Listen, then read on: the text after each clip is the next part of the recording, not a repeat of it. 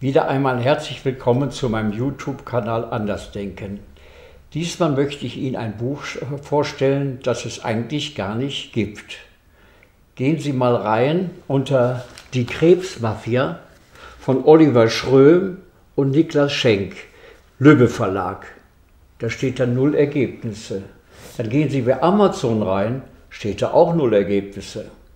Ich werde mal sehen, ob Sie am Ende raten, warum es da überall null Ergebnisse gibt. Die Krebsmafia ist ein sehr interessantes Buch, das, wenn Sie drankommen können, sich besorgen sollten. Äh, ich zitiere mal so einige Beispiele und erkläre etwas dazu.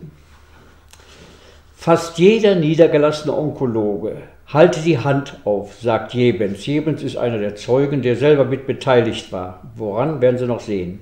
Dann macht er eine Anschuldigung, die mich erschüttert. Manche Onkologen, Onkologen sind die Krebsfachärzte, würden sogar so weit gehen, mehr zu verschreiben als medizinisch nötig für den Profit. Ich muss an Kurt denken, Kotzen, Haarausfallschmerzen. Kurt war wohl sein Freund.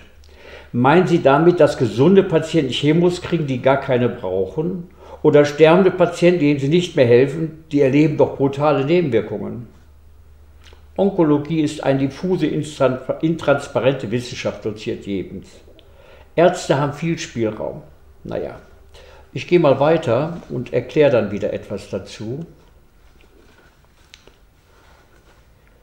Sobald klar war, dass ich mich als Onkologe niederlassen will, kamen alle paar Tage Pharmahändler zu mir, die sagten, wir bringen Ihnen Patienten, wir verschaffen Ihnen gratis Ihren Facharztsitz.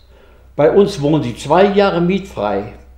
Einmal hat mich der Besitzer einer Berliner Apotheke zu sich eingeladen. Wir saßen in einem Türmchen zusammen, von da konnte man den Reichstag sehen. Der sagte mir dann noch eben ein paar Ange dem hat mir noch eben ein paar Angebote für meine Praxis skizziert.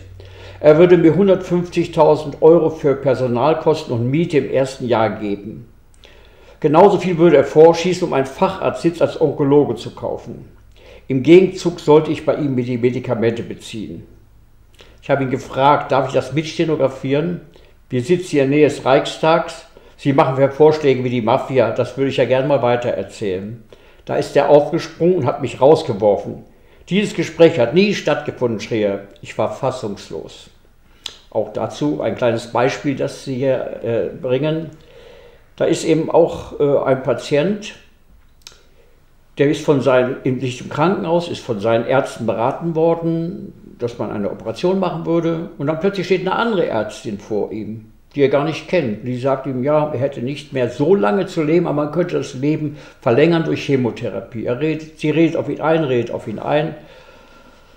Äh, mehrere Ärzte haben hinterher das beurteilt, die Röntgenaufnahmen, das CT, also Computertomogramm, und meinten, eigentlich hätte man höchstens viermal äh, eine Chemo machen müssen und dann nochmal ein CT machen, weil das gar nicht sicher war, ob das Metastasen auf dem Bild waren.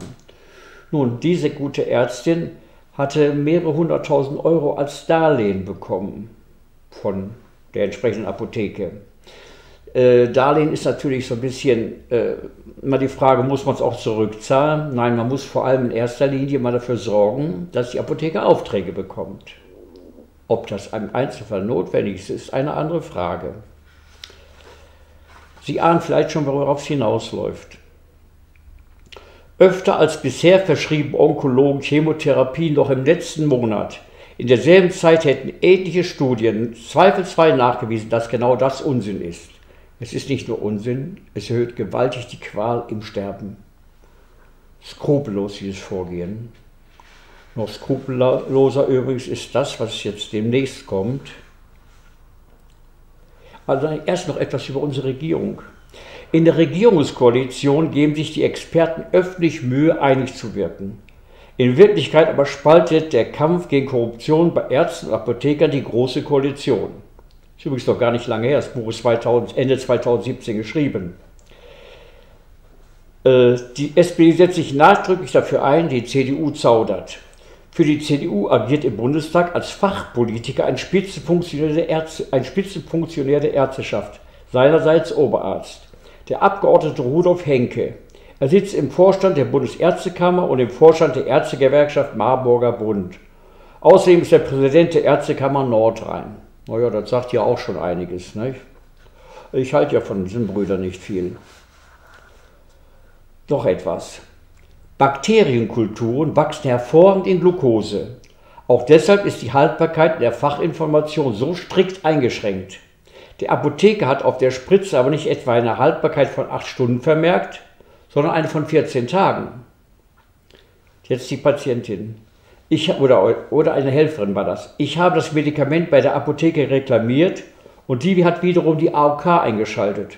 Was glauben Sie, was dann passiert ist? fragt Mönighoff. Die AOK hat mich aufgefordert, das Medikament trotzdem zu verabreichen. Gut, ne? Die spielt übrigens auch eine sehr äh, unrühmliche Rolle, die AOK, bei diesem Apotheker, der gegen dieses, ah, das verrate ich noch nicht, gegen einen ganz bekannten Apotheker, der sehr reich geworden ist, Millionen gemacht ist, im Hamburger Raum. Äh, dieser Apotheker hat auch zum Beispiel sehr gut scheinbar mit der Gesundheitssenatorin in Hamburg zusammengearbeitet, die auch eine unrühmliche Rolle bei der ganzen Angelegenheit gespielt hat. Äh, der hat eine ganze Menge krumme Sachen auch gemacht, aber für der nicht in äh, dem Maße belangt werden konnte, weil Tötungsdelikte kann man nicht so einfach nachweisen. Man weiß ja nicht, ob einer auch ohne Chemo gestorben wäre oder eben mit Chemo oder wie auch immer. Kann man hinterher nicht nachweisen. Aber da kommt gleich mal was.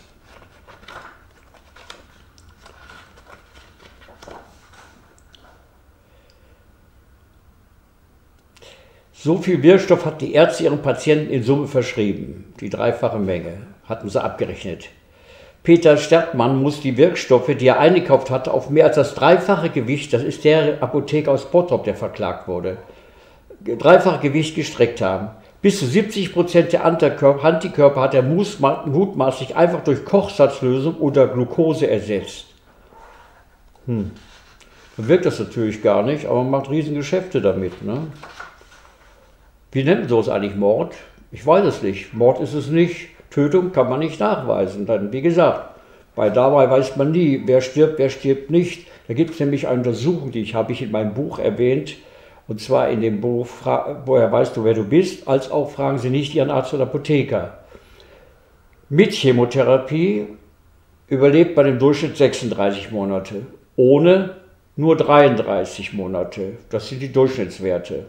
Da frage ich mich lieber, ob ich nicht besser ohne Chemotherapie 33 Monate lebe noch. Manche leben natürlich länger und werden alt damit, ist klar, aber manche leben auch ohne Chemotherapie länger. Jetzt kommt noch etwas. Bei dem Beutel aber schäumte gar nichts. Sie öffnete Gummistopfen, das ist die, die den Transport machte und auch von Ahnung hat, über den der Wirkstoff in die vom Beutel Anfang enthaltene Kochsalzlösung eingespritzt wird. Diese Injektion hinterlässt immer eine kleine Narbe im Gummi, aber in diesem Beutel gab es keine Narbe. Das hieß, dass in diesem Beutel nichts eingespritzt worden war. Auf dem Infusionsbeutel steht der Name der Patientin und der angeblich enthaltene Wirkstoff und die Konzentration. Statt in die Apotheke zu fahren, nimmt Maria Klein einen Umweg. Sie gibt den Beutel bei der Polizei ab. Die Beamten, die Beamten beschlagnahmen den Beutel und reichen ihn ans Paul-Ehrlich-Institut weiter das Bundesinstitut für Impfstoffe und biomedizinische Arzneimittel. Nach einem Monat kommt das Gutachten zurück. In dem Beutel war kein Wirkstoff, nur Kochsalz. Ist das eine Tötungsabsicht aus Profitgier? Wie wollen wir das eigentlich nennen? Da habe ich dann noch am Schluss etwas. Liebeck, das Medikament, mit dem Novartis 50 Milliarden Dollar verdient hat, und das für mehr als 100.000 Dollar pro Jahr verkauft wird, kostet unter 160 Dollar pro Jahr in der Herstellung. Also 100.000 Dollar verkauft, 160, 160 Dollar in der Herstellung. Und da sind schon 15% Gewinn mit eingerechnet. Herzeptin verkauft für 54.000 Dollar pro Jahr, Herstellung 242 Dollar. Das Hepatitis-Medikament Sovaldi verkauft für 84.000 Dollar bei, 12, bei nur 12, äh, 12 Wochen Therapiedauer kostet kein 140 Dollar für die vollen 12 Wochen. Äh, das hat jetzt nichts, das äh, Hepatitis-Medikament hat jetzt nichts mit Krebsmedikamenten zu tun, aber wir sehen einmal, wie die Pharmaindustrie verdient, wie Ärzte bestochen werden, wie Ärzte Medikamente verabreichen, die gar keine sind, es zum Teil sogar wissen, wie nennt man diese Ärzte eigentlich und wie viele von denen? Kann man einem Onkologen überhaupt noch trauen? Sage ich ganz offen. Holen sich, wenn Sie mal selber Krebs haben, holen sich die Diagnose, rennen Sie erstmal weg und gehen Sie zur nächsten Klinik, möglichst weit weg. Wenn Sie Glück haben, treffen Sie einen Onkologen, der ehrlich ist. Sicher bin ich mir da nicht mehr bei diesen Brüdern. Dankeschön fürs Zuhören.